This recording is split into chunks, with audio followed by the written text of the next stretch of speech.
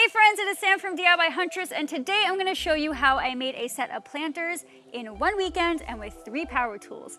I mean, you could use four power tools if you're feeling fancy and you wanna use a powered sander, but I'm gonna show you how I made them using three tools. Weekend warriors, this is a great project for you, so let's get started.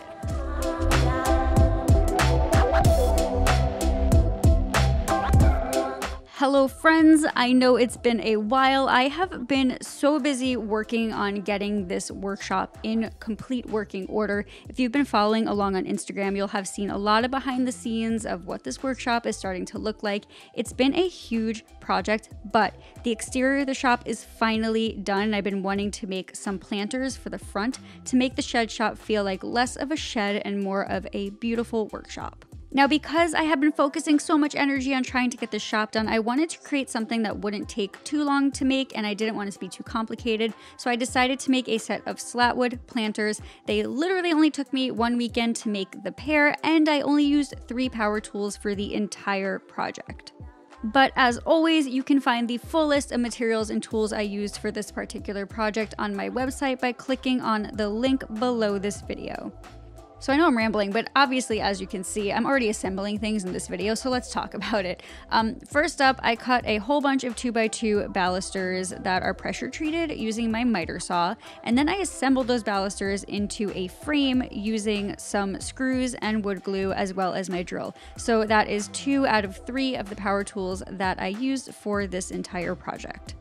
Now in terms of measurements, I actually decided to build essentially a wooden planter box around a plastic planter. I'll talk about that in a second. So I did end up pulling the measurements I needed for this project from that planter that I purchased from Home Depot.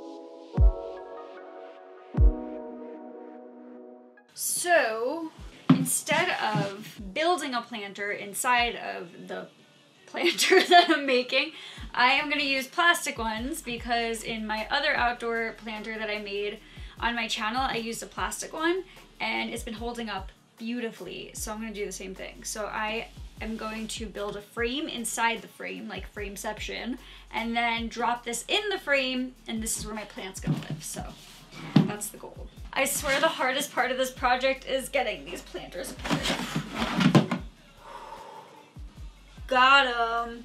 Boom, boom, boom, boom, boom, boom, boom. All right, so as promised, there was my explanation. So yes, I decided to use pre-made plastic planters. I find those hold up a lot better, so uh, that's what I did. Now, once I had the size I needed for the frame of the planter, I did make a platform to place that plastic planter on top of, and I basically just measured this out by essentially placing the planter inside this planter frame and figuring out how big I needed everything to be. I then attached some pressure treated 1x2s to the inside to create a frame and then nailed some extra pressure treated 1x2s on top of that to create the actual platform for my planter.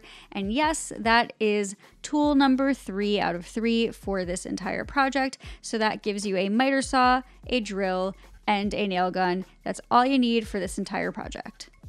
Other thing to note too is that this is actually a really great beginner build because every single cut I made for this build was a 90 degree cut and a lot of the cuts were exactly the same size, especially when we get to the slatwood pieces in a little bit.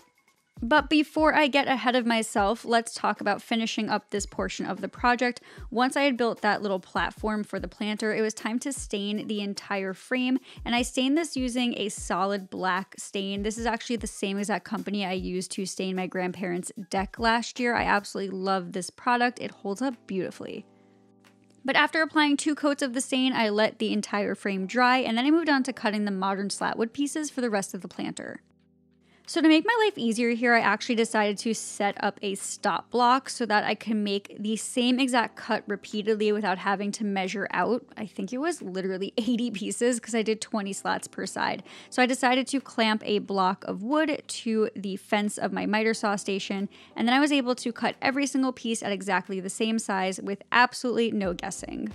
So just a quick disclaimer, I did want to save some money on this build and that is why I used pressure treated 1x2s. However, the pressure treated 1x2s aren't like the prettiest wood that you can find in the hardware store. So some of the pieces just weren't that beautiful.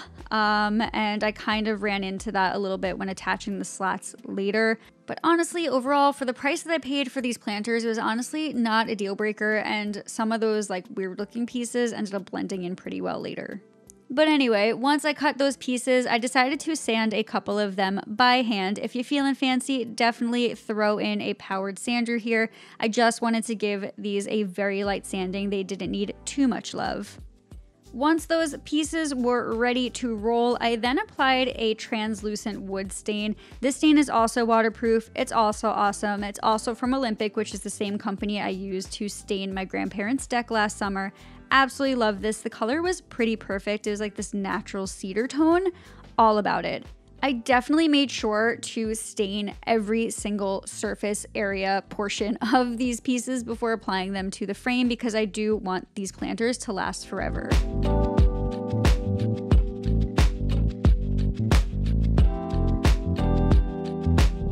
After letting everything dry, it was then time to attach these pieces to the frame, and I did this using a waterproof outdoor wood glue as well as nails. I also used a piece of scrap wood that I had laying around my workshop as a spacer in between each one of the boards, and that way the spacing was completely consistent from top to bottom. And in case while you're wondering why I'm throwing a lot of shade at some of the ugly pieces, check out this second piece I'm attaching here. Look how ugly that is compared to the rest. I ended up taking that off and replacing it with a better piece later. In terms of assembly for the rest of this build, I basically just repeated exactly what I did on that first side for the remaining three sides. And I also decided to not do miter joints on the ends. Instead, I just did very simple butt joints. Part of this is because we do have very humid summers on Long Island, and I have found that when you miter the corners, they don't hold up as well outdoors here. But if you were to make a planter like this and you would like to do mitered corners, go for it. That's the beauty of DIY. You can make these projects work however you want them to work. Also, three serious loud cheers for this piece of scrap wood that I have been refusing to throw out. And you know what? I'm honestly pretty proud of myself for not throwing it out because it worked really well as a spacer for this project. I mean, I'm just low key trying to support my own lumber hoarding habits, but like, we don't have to talk about that.